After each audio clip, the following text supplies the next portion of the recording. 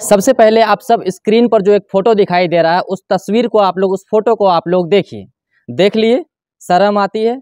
नहीं आती है तो शर्माइए, क्योंकि आप तेरह करोड़ जनसंख्या वाले राज्य बिहार में हैं। ये पटना के मोइनुल हक स्टेडियम है, जहाँ मुंबई की टीम रणजी मैच खेलने आई है। बिहार ही के खिलाफ। और सबसे बड़ी बात, जो खुशी की बात है कि बिहार ही के खिलाफ खेल रही है। और स्टेडियम का हाल देख के सरकार और बीसीए के पदाधिकारियों को शर्म आए ना आए हमको और आपको ज़रूर शर्म आनी चाहिए। और ऐसा लग रहा है जैसे बिहार सरकार ज़बरदस्ती लोगों का हाथ पकड़ पकड़ के घर में घुस कर सरकारी नौकरियाँ बांट रहे हैं। और अब नौकरियाँ इतनी हो गई है, इतनी हो गई है कि स्टेडियम का सपोर्ट स्टाफ, सब कलेक्टर, डीएम, आईएएस, आईपीएस, यूँ समझिए कि सब कुछ बन गया है। कोई वहाँ पर काम करने वाला नहीं बचा है वहाँ। खैर, जहाँ बाकी के प्रदेश में आप सब देखते हैं कि हर साल कोई ना कोई एक नया स्टेडियम बन रहा है। वहीं दूसरी ओर ये भी एक स्टेडियम है जो कि बिहार में है और जिसका हाल आप लोगों को स्क्रीन पर दिखाई दे रहा है। जबकि बीसीसीआई मुंबई जैसी टीम को यहाँ खेलने भेजकर एक तरह से समझिए कि बिहार के ऊपर एक बहुत बड़ा एहसान ही कर रही है। और जानते हैं इसके लिए कौन दोषी है और कौन जिम्मेदार है। इसके लिए कहीं ना कहीं ये सभी बिहार के नेता दोषी हैं और बिहार के नेता जिम्मेदार हैं।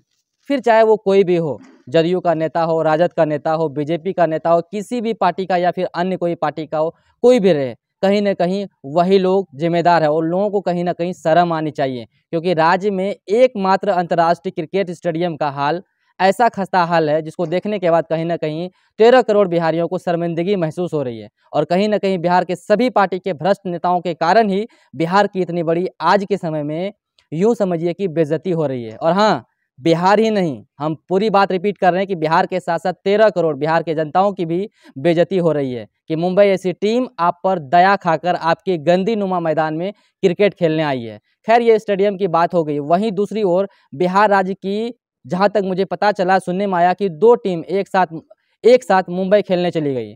अध्यक्ष की टीम अलग और सचिव की टीम अलग। ये बिहार के नेताओं और बिहार बोर्ड के अध्यक्ष सचिव के कारण हमारी और आप सब की कहीं ना कहीं आज नाक कट गई। मुंबई वाले जब बिहार से जाएँगे तो आप सब बताइए ना कि यहाँ से कौन सी याद को क्या लेकर जाएँगे साथ में। यही कि स्टेडियम में सीट नहीं है, झाड़ी में बैठना पड़ रहा है, मैदान में स्कोर देखने के लिए कोई स्कोर बोर्ड नहीं है। और ये हमारे बिहार के नेताओं का विकसित बिहार है, जिनके बारे में सोचकर हम तेरह करोड़ बिहारियों को कहीं ना कहीं आज के समय में शर्म आ रही है। आसाम और डुआर्स की ब्लेंड सुबीटी जो बनी है यहाँ के बागानों की खास चुनिंदा पत्तियों से। कई परीक्षण के बाद जुबीटी को आप तक पहुँचाया जाता है, ताकि आपको मिले दमदार स्वाद और बेहतरीन स्वास्थ्य। जुबीटी, इसके हर घूंट में है ज़बरदस्त स्वाद और सेहत का साथ, और इसका हर कप है ताजगी से भरा, जो है एकदम कड़क। साथ ही इसका दाम भी है पॉकेट में फिट और ये है साइज़ में हिट। जुबेटी की टीम चाय पत्ती को बारीकी से टेस्ट करती है।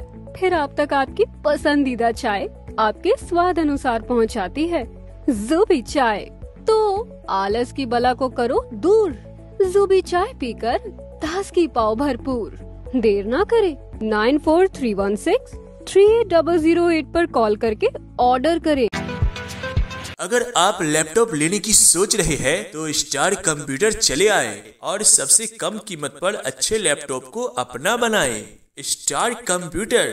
अपने करियर और अपने व्यवसाय को दें एक नई उड़ान। बेंगलोर आईटी सॉल्यूशन के साथ फ़ायदे का मौका पाएँ और कम बजट में बेहतरीन कंप्यूटर और लैपटॉप्स अपने घर ले जाएँ।